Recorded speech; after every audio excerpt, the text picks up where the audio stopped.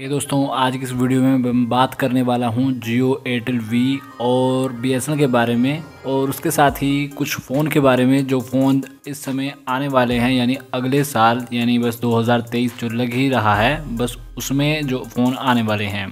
तो आज की वीडियो शुरू करने से पहले कहूँगा, अगर चैनल पर नए हो, चैनल सब्सक्राइब कर लेना और बेल आइकन को दबाना मत भूलना।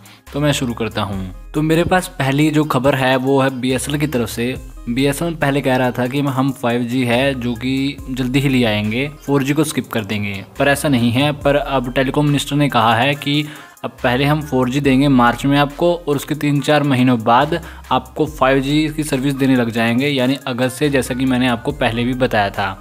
तो ये थी बी की बात। अब बात करते हैं फ़ोन की। तो फ़ोन में Redmi के 60 Pro और Redmi के 60 और Redmi के 60e लॉन्च हो चुका है चाइना में। अगर मैं बात करूँ के सिक्सटी प्रो की तो वो 6.67 इंच की टू के स्क्रीन में आपको मिलती है। और उसमें आपको एट जन टू देखने को मिलता है। और उसमें आपको 16 जीबी तक रैम देखने को मिलती है। और ये चाइना में इस टाइम चालीस हज़ार रुपये का आया हुआ है। अगर इंडिया में आ जाता है तो बहुत अच्छी बात है। तो आपको एक अच्छा सस्ता और बढ़िया फ़ोन देखने को मिलेगा। तो अगली खबर है पोको की तरफ़ से। पोकी पोको का सी फिफ्टी फ़ोन जल्दी ही आपको देखने के लिए मिलेगा। उसका लैंडिंग पेज फ्लिपकार्ट पर आ चुका है। तो ये आपको जनवरी में ही देखने के लिए मिल जाएगा।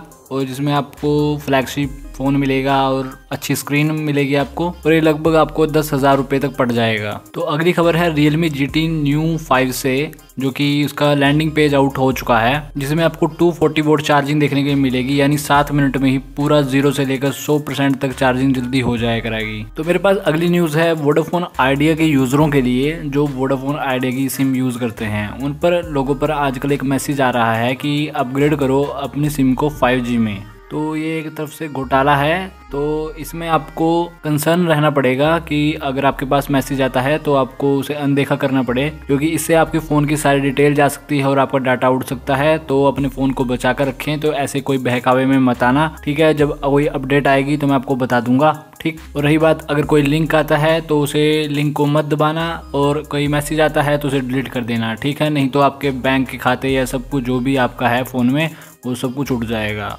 तो बचकर रहना। तो अगली न्यूज़ है पोको X5 की, कि जल्दी ही आपको पोको X5 देखने के लिए मिलेगा बाज़ार में। ये सेम होगा जैसे Redmi Note 12 था, वैसा ही सेम आपको दिखाई देगा। बस उसका नाम बदल दिया है, बाकी सब सेम है। जिसमें आपको 33 वोट की चार्जिंग मिलती है और आपको 48 मेगापिक्सल का कैमरा मिलता है। और अगली न्यूज़ है सैमसंग की तरफ़ से। सैमसंग का ए सीरीज़ फ़ोन जल्दी ही आपको देखने के लिए मिलने वाला है। सैमसंग का जो फ़ोन है, वो है ए थर्टी फोर जल्दी ही आने वाला है और ये आप पहले कोरिया में होगा, फिर उसके बाद भारत में। तो अगली बात करता हूँ ट्विटर की। तो ट्विटर दो घंटे के लिए डाउन हो चुका था तो उस पर कोई भी व्यक्ति कुछ भी नहीं कर पा रहा था तो ट्विटर गड़बड़ा रहा है आजकल क्योंकि एलोन मस्क भी उसे संभाल नहीं पा रहे हैं। एयरटेल ने अपना फाइव जम्मू और कश्मीर में लॉन्च कर दिया है, पर क्या हुआ कि जियो ने तो पहले ही 11 सिटीज़ में अनाउंसमेंट कर रखी है कि यहाँ 5G आ चुका है। तो टेक न्यूज़ में बस इतना ही। तो आने वाली वीडियो के लिए चैनल सब्सक्राइब कर लेना और बेल आइकन दबाना मत भूलना। ऐसी वीडियो चैनल पर आती रहती हैं। तो